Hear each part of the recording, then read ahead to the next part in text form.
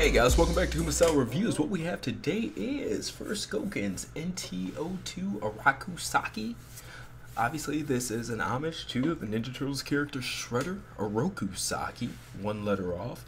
And this is one that I had moderate interest in at best, but so far it's my toy of the year. You can see it comes with additional hands, one's for holding swords, one for holding sais, as well as a sword. Alright, now just getting a measurement on this guy. People wonder a lot about his scale. He's about eight and three quarters inches tall, so about one eighth scale, I believe that is. He goes best with the TMNT Classics from 2012, rather than the strict four inch, six inch, things like that.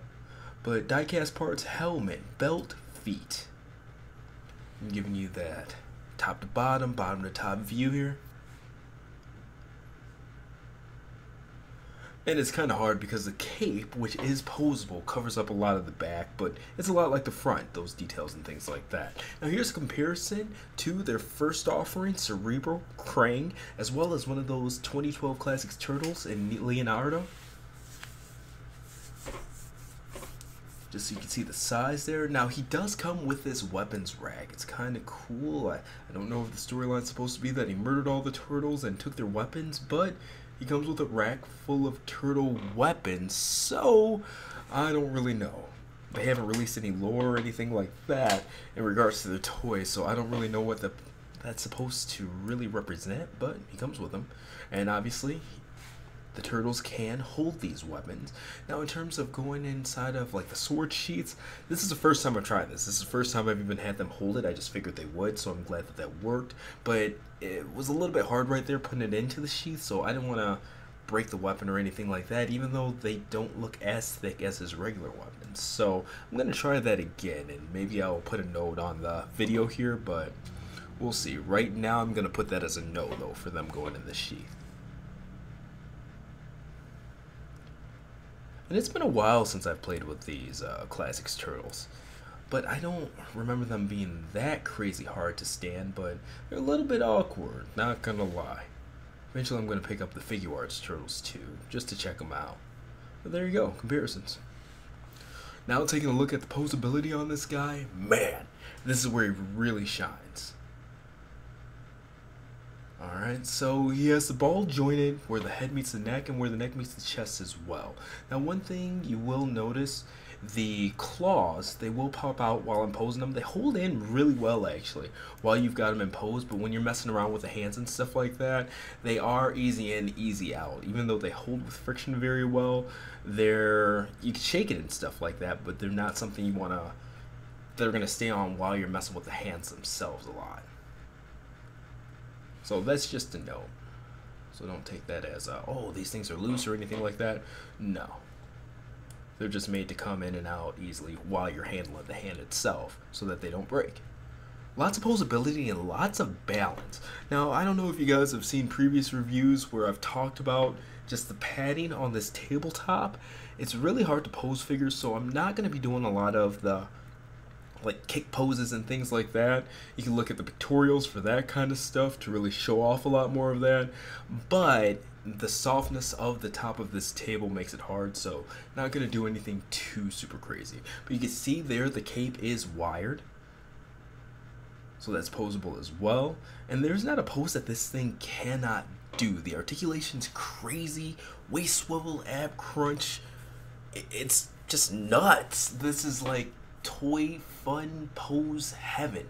Now, the look of it, I absolutely love it. Reminds me a lot of, even though he's not wearing the same costume, the TMNT Tournament Fighters, just that styling with the white eyes and things like that, that very anime look. It's cool. Alright, now using one of these replacement hands. Now, both of the replacement hands, or optional hands, we call them that, they come with open fists so that he could hold the weapons, but the other set actually comes with a gap in the middle area of his fingers so that you could hold the sais like daggers. It's really cool, and I took a picture of that as well. And of course, kumastyle.com, full written and pictorial review. Check out the gallery. Let me know what you think. Blah blah blah. Not trying to show, but at the same time, photography is what I do. So if you're here, you should be there too. All right, getting this thing posed up. And I guess I can't really show for myself. I mean, you're here, so this, this is my stuff. Kind of goes with the territory. So disregard that. Just go to my fucking site. Alright, getting that claw back in.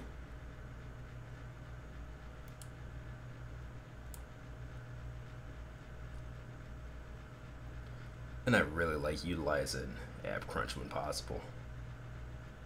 So of course, we're to get that pelvis more outward. Because you can tell, he has a strong core. We're going to show that off. And the diecast feet really do help on this. Now, the only thing nitpick I have about this one in terms of design, the ankles are very much so exposed, which I'm fine with, but at the same time, they stand out. And alright, one thing that's nice about him, his helmet is removable. Again, that helmet is die-cast. And you can replace it with, of course, is her.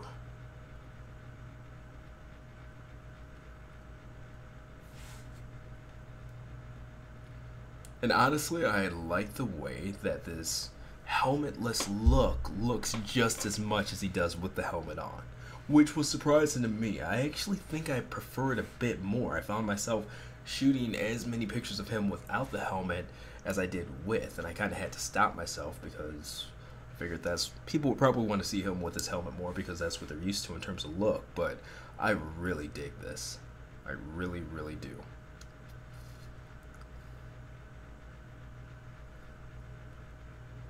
Alright, just getting him posed up there, and there he goes. That is Helmetless Shredder, or Roku Saki, or Raku, if you're going by these names. And again, this has been First Gokin's NTO2 Oraku Saki. Check out the full written pictorial review on Kumastyle.com. Buy this guy at Lunar Toy Store. Links to both will be in the description. See you next time.